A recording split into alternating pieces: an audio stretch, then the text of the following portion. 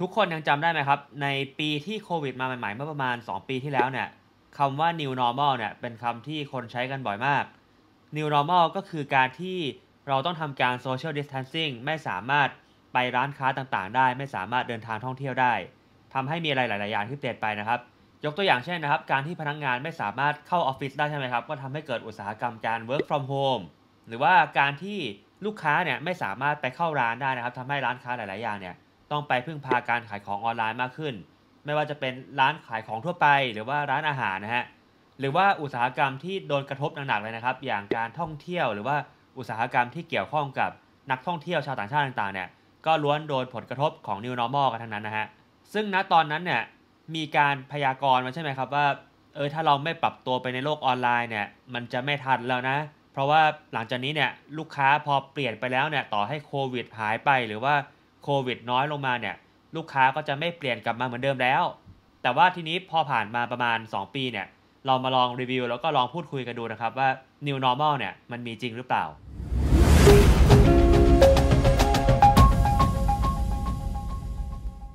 เรามาเริ่มจากการดูตัวเลขแล้วก็ดูข่าวต่างๆ ที่เกี่ยวข้องกับอุตสาหกรรมกันนะครับ โดยเฉพาะยิ่งอุตสาหกรรมออนไลน์นะ ยกตัวอย่างเช่นนะครับ อย่าง Facebook อย่างนี้ใช่ไหมครับเขาก็บอกว่า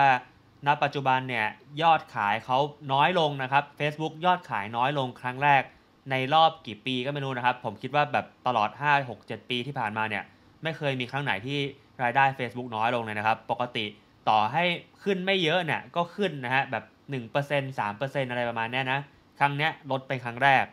นอกจากนั้นนะครับในอเมริกานะครับมันจะมีเว็บไซต์สำหรับการขายของออนไลน์นะครับชื่อว่า Shopify ทำให้ธุรกิจส่วนมากสามารถเปิดร้านค้าได้ง่ายนะ เว็บไซต์ Shopify เนี่ยเขารายงานว่าตอนที่ New Normal กำลังมาตอนที่โควิดกำลังมานะครับเขาจ้างคนเยอะขึ้นนะครับ เพราะว่าเขาคาดการว่าการคนส่วนมากธุรกิจส่วนมากเนี่ยมันจะไปขายของออนไลน์มากขึ้นเนาะแต่ว่าพอมาปัจจุบันเนี่ยสปีผ่านไปเนี่ยเอ้ยยอดตรงนี้มันไม่โตขึ้นนะครับ สรุปก็คือมีการปลดพนักงงานลงประมาณ 10%เลยนะฮะก็เป็นอีกหนึ่งตัวอย่างนะครับว่าบริษัทใหญ่ๆหลาย ๆที่นะครับ New Normal ไม่ได้มาจริง แต่ว่าพวกนี้ก็เป็นแค่บริษัท ในต่างประเทศใช่ไหมครับ เดี๋ยวเรามาลองดูตัวเลขของในประเทศไทยกันบ้าง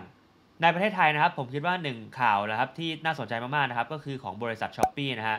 ประมาณไม่กี่เดือนที่ผ่านมาใช่ไหมครับช้อปปีมีข่าวว่าเขาปลดพนักงานลงนะครับส่วนของ s h อ p e e Food กับ s h อ p e e Pay นะฮะ s h อ p e e Pay เป็นบริษัทที่ดูแลเรื่องการชำระเงินต่างๆนะครับส่วน s h อ p e e Food เนี่ยก็เป็นบริษัท Food Delivery นะครับผมไม่แน่ใจว่าหลายๆคนเคยได้ใช้งานหรือเปล่านะ แต่จริงๆแล้ว มันก็แบบมีไรเดอร์เยอะนะคือผมมองว่า operation หลังบ้านเขาเนี่ย ค่อนข้างดีเลย ซึ่ง s h อ p e e เนี่ยจริงๆเขาก็เป็นบริษัทที่ลงทุนหนาลงทุนเยอะทุกครั้งทุกปีอยู่แล้วนะครับ ถ้าดูจากงบการเงินที่ผ่านมานะครับ ก็คือทุกปีก็ขาดทุนอยู่เรื่อยๆนะครับ ซึ่งมันน่าจะเป็นการขาดทุนจากการที่เขายัดเงินเพื่อขยายธุรกิจใหม่เรื่อยๆนะฮะ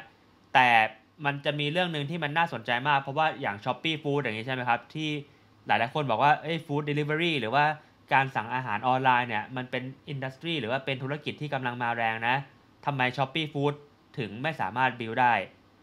ซึ่งไอธุรกิจ Food Delivery เนี่ยแหละครับ ก็เป็นหนึ่งในสิ่งที่อยากจะชวนทุกคนคุยนะครับ เพราะว่าณปัจจุบันในประเทศไทย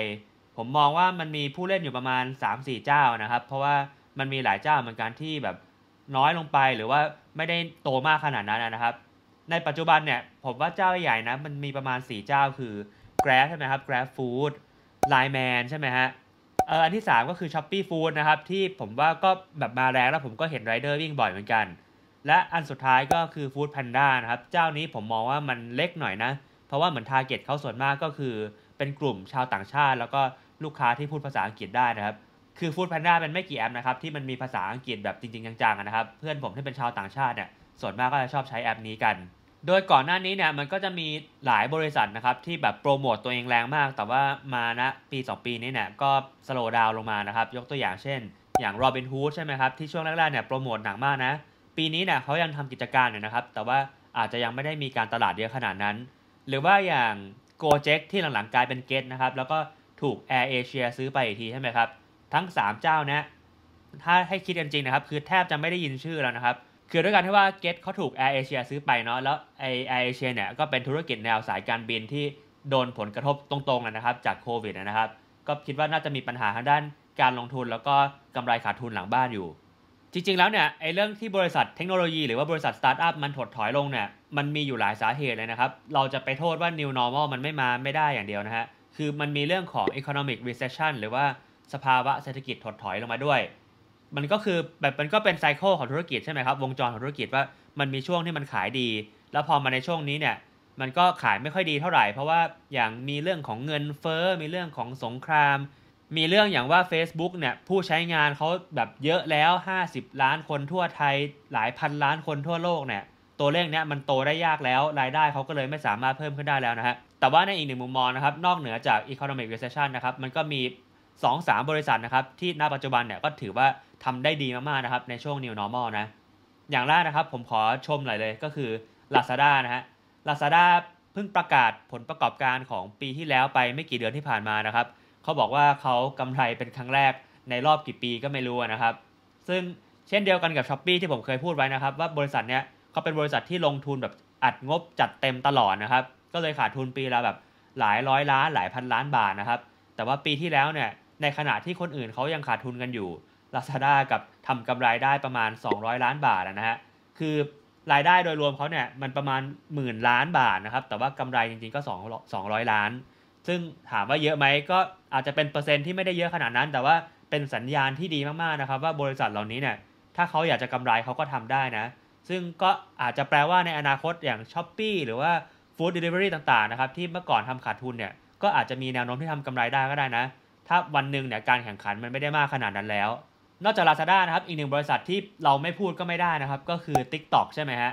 หลายคนบอกว่า TikTok เนี่ยเป็นบริษัทที่โชคดี เพราะว่ามาถูกที่ถูกเวลามากนะครับ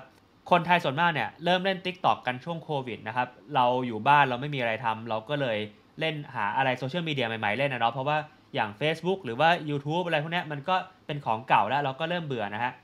วัยรุ่นส่วนมากนะครับ เน้นว่าตลาดวัยรุ่นแล้วกันนะครับ 18 ถึง 20 30 อะไรประมาณเนี้ย ก็เห็นว่า TikTok เนี่ยเป็นแอปพลิเคชันที่น่าสนใจ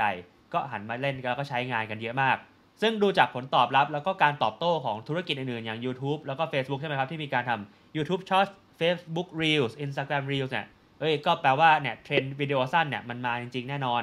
TikTok เนี่ยหลายๆคนก็รู้ว่ามันโตเร็วมากๆนะครับ อย่างตัวผมลองเองเนี่ยทำไม่กี่เดือนเนี่ยก็ยอดได้ผู้ติดตามหลักแสนนะฮะ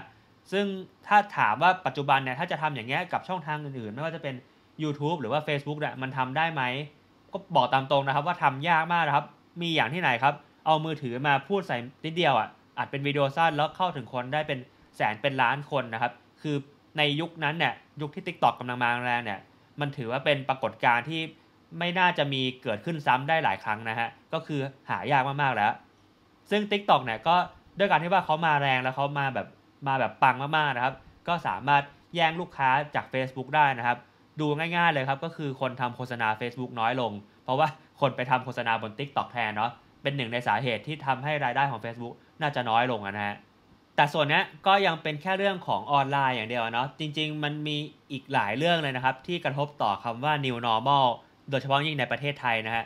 สุดท้ายแล้วยังไงประเทศไทยเราเนี่ยก็เป็นธุรกิจที่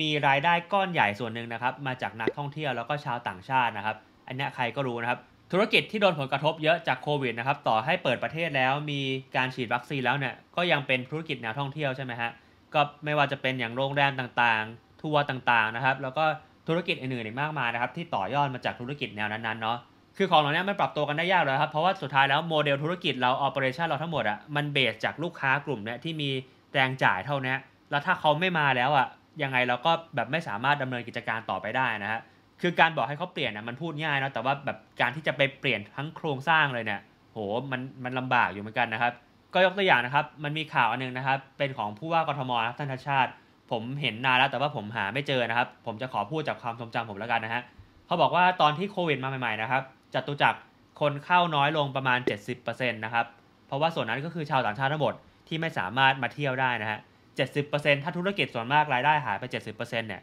คือส่วนมากก็คือลำบากแล้วก็เจ๊งไปนะฮะคือณปัจจุบันเนี่ยต่อให้ทุกอย่างมันกลับมาเหมือนเดิมระดับหนึ่งแล้วเนี่ยลูกค้าก็ยังหายไปอยู่ประมาณ 30-40%อยู่ดีนะครับก็เลยกลายเป็นว่ารายได้มันก็ไม่มีทางพลิกกลับมาเหมือนเดิมได้ร้อยเปอร์เซ็นต์เนาะ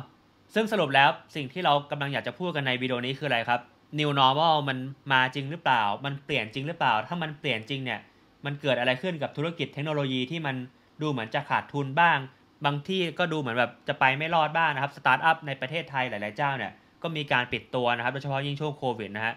สุดท้ายแล้วเราก็ไม่สามารถฟันธงได้นะครับว่าไอ้โควิดเนี่ยมันจะทำให้เกิด new normal ในสิ่งที่เรียกว่า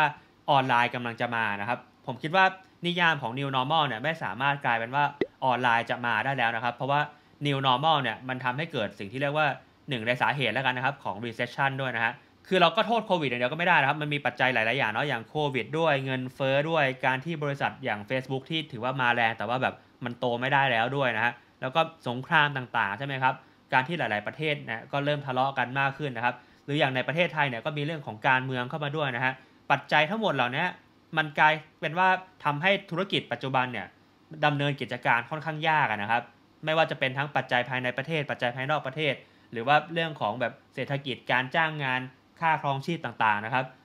ทุกอย่างเนี่ยก็คือเป็นปัจจัยที่กระทบต่อการทำธุรกิจกันหมดเลย เอาเป็นว่าผมขอสรุปดังนี้แล้วกันนะครับ คือถ้าในอดีตเนี่ยไม่ว่าเราจะทำธุรกิจหรือทำงานหรือเป็นอะไรก็ตามครับแล้วเราคิดแค่ว่า new normal คือการที่คนไปอยู่ออนไลน์นะครับ ผมคิดว่าความคิดเนี้ยหรือว่าการสมมุติแบบเนี้ยมันอาจจะไม่ถูกสัทีเดียว